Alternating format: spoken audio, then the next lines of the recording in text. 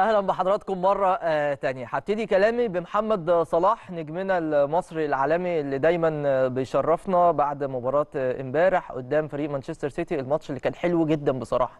كرة قدم حقيقية. شفناها امبارح من خلال آه، المباراة دي وقمة الجولة في بطولة الدوري الإنجليزي الأكثر إثارة على مستوى العالم في الحقيقة. لكن أهمنا قوي تألق آه، محمد صلاح للمباراة الثانية على التوالي. هو أسبوع سعيد بالنسبة له. بعد ما قدر إن هو يحرز هاتريك في مباراة رينجرز في دوري أبطال آه، آه، أوروبا آه، في بس حوالي 6 دقائق و12 ثانية. لكن كمان إمبارح قاد فريقه آه، من خلال محاولات مكثفة على مرمى إيدرسون. ما كانش موفق في أول محاولتين ثلاثة في آخر واحدة قدر إن هو يجيب هدف خاص وعلامة مسجلة لمحمد صلاح آه، السرعة بتاعته بيقدر يستغلها آه، بشكل كبير جدا حط كانسيلو في ظهره وعدى بالكوره وراح هو والجون طبعا. إدرسون ما قدرش يعمل معاه حاجة وقدر صلاح في الدقيقة 76 يحرز هدف ليفربول الوحيد في هذه المباراة. ولو كان داروين نونيز يعني آه، بص شوية على يمينه في كرة بعديها كان صلاح لوحده خالص. لو اداها له كان صلاح ممكن يجيب الهدف الثاني ويا بخت اللي خلى صلاح في ال fantasy ومش ما مشيهوش لأن أنا في الحقيقة مشيته لكن قدر إن هو امبارح بخلاف ال 3 points bonus والنقاط اللي قدر ياخدها بعد الكلين شيت وكمان بعد الهدف المهم ده. فبالتالي حاجة إيجابية جدا بالنسبة لمحمد صلاح. لكن بشوف إن دي كانت الفرصة الأخيرة لليفربول لو كانوا هم عندهم الرغبة إن هم ينافسوا على بطولة الدوري وأكيد عندهم الرغبة رغم الصعوبة الكبيرة اللي بقت موجودة دلوقتي فكانت آخر فرصة بالنسبة لهم إن هم يعطلوا أحد المن- المنافسين بقوة كبيرة جدا مع أرسنال لحد دلوقتي على بطولة الدوري الإنجليزي. هم فعلا عطلوا مانشستر سيتي آه، ب آه، آه، يعني إن هم يفقدوا ثلاث نقاط بالإضافة إن هم يضافوا لليفربول عشان يكون في بصيص من الأمل بالنسبة لليفربول بخصوص العودة في سباق الدوري الإنجليزي رغم إن الأمور صعبة في الحقيقة لكن بتديك أمل وبتديك دفعة كبيرة جدا إنك تكسب مانشستر سيتي الفريق الأقوى على مستوى العالم للماتشات اللي جاية إنك تقدر تواصل انتصاراتك. عندهم الماتش الجاي أعتقد مع ويست هام في الأنفيلد برضو. أتمنى كل التوفيق لنجمنا المصري آه، محمد صلاح. لكن عايز أركز بالتحديد على الحالة اللي بيعملها محمد صلاح لما بيتألق. وإزاي كل المصريين بيبقوا سعداء؟ إزاي بنشوف ال timeline على ال social media في كل التطبيقات؟ في الحقيقة الناس كلها بتتكلم عن محمد صلاح الناس كلها بتنشر آه، صوره.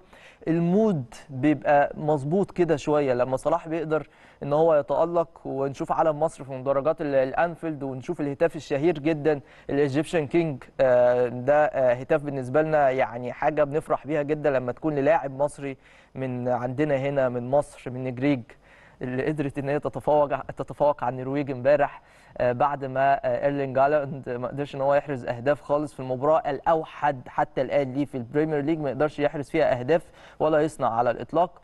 ويمكن هو لعب ماتشين قدام ليفربول ماتش في ال Community Shield آه، في آه، بداية الموسم قبل انطلاق بطولة الدوري. ما قدرش إن هو يعمل آه، أي حاجة وقدر ليفربول يفوز 3-1 ومباراة امبارح اللي ما قدرش أيضا إن هو يفوز آه، أو يحرز أهداف آه، على آه، ليفربول. وشكلها كده هتبقى عقدة لهالاند زي ما صلاح أصبح عقدة لمانشستر سيتي وواصل إحرازه للأهداف آه، قدام فريق آه، جوارديولا. اللقطة كمان اللي كانت جميلة جدا بعد الماتش جوارديولا اللي هو أفضل مدرب في العالم في الحقيقة على مدار سنوات عديدة سابقة.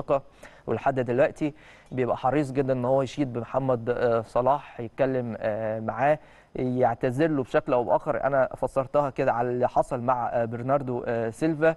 شوف كمان احترافية صلاح في التعامل مع الأزمة اللي كانت عابرة خلال المباراة مع برناردو سيلفا. لما كان صلاح ليه فاول برناردو كان متشعبط كده في صلاح بيحاول يوقعه.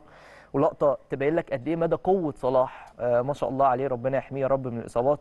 ومدى إصراره على الحفاظ على الكورة لكن الحكم ما أنصفوش في لعبة زي دي. تنرفز كلوب خرج آه، مطرود. في نفس الوقت آه، برناردو سيلفا راح يشد مع صلاح حاول يحتك بيه آه، جسديا. صلاح باحترافية كبيرة جدا وبأخلاقه المعهودة عليه وإن هو بيحاول بشكل أو بآخر ما يقللش من من قيمته ونجوميته آه، بشكل كبير. آه أكيد وجه بعض الكلمات القاسية لبرناردو سيلفا لكن ما احتكش بيه آه، جسديا. ودي اللقطات. بشكركم يا جماعة. طبعا الناس صح معانا حلو قوي الكلام ده. دي لقطة بصراحة عابرة إن أنت إزاي تقدر توقف محمد صلاح. برناردو سيلفا من أفضل اللاعبين بالمناسبة بنشوفهم في العالم لعيب كبير جدا ولاعيب مؤثر قوي في صفوف مانشستر سيتي.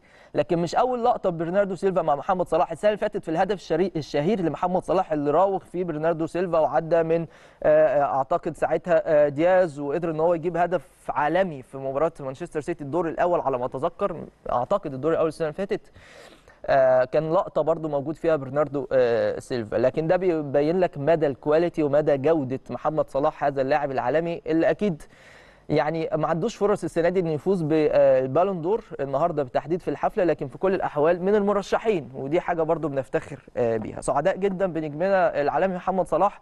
الأهم إن هو يعني الاستفاقة دي تستمر بالنسبة له ويواصل على هذا المنوال وهذا ال- الأداء المميز خلال المباريات القادمة مع ليفربول سواء في الدوري الإنجليزي أو حتى في بطولة دوري أبطال أوروبا. بالمناسبة أسبوع كان سعيد بالنسبة لكل محترفينا المصريين في الخارج بداية بمرموش اللي قدر إن هو يحرز هدف على طريقة عماد متعب في الاتحاد الليبي. أكيد فاكرين المباراة دي ما نقدرش ننساها.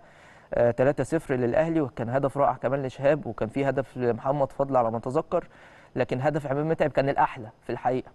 امبارح أو أول امبارح بالتحديد عمر مرموش جاب هدف نسخة طبق الأصل من هدف آه، عماد متعب. لعيب مميز جدا عمر مرموش أتمنى إن هو ينضم للدوري الإنجليزي وأتوقع إن ده هيحصل. كمان مصطفى محمد جاب آه، هدف آه، مع نانت في فوزه برباعية على بريست الفرنسي امبارح في الدوري الفرنسي أحرز الهدف الثالث. آه، وخد كمان أفضل لاعب في في الشهر فدي حاجة كويسة جدا بالنسبة آه، للاعبي آه، مصر المحترفين في الخارج ولاعبي منتخبنا الوطني الأول. أحمد حجازي هدف كمان امبارح مع اتحاد جدة في مرمى الوحدة في الدقيقة 78 تقريبا. هدف من ضربة ركنية بالرأس قدر إن هو يحرزها وهدف أكثر من رائع لأحمد حجازي. مين تاني يا جماعة؟ تريزيجيه. تريزيجيه جاب هدف في بيشكتاش أحد فرق القمة في تركيا هو لاعب ترابزون آه، بطل الدوري الموسم الماضي. في آه، تركيا. هدف أيضا كان جيد فتريزيجيه بيواصل آه، تألقه. آه، أحمد حسن كوكا كمان جاب هدف يا رب. ما كنتش نسيت حد يا جماعة. أعتقد كده بس يعني تقريبا قلنا كل ال- الأسماء. فكل المحترفين زي ما حضراتكم شايفينهم في الصورة بيتوهجوا في الملاعب ال- الأوروبية. واكيد أبرزهم نجمنا العالمي اللي بيلعب في أقوى دوري وهو محمد صلاح. وبنفرح جدا لما أي حد من المحترفين يتألق ويعمل يعني أداء آه، جيد في مختلف المباريات في الدوريات الأوروبية الكبرى.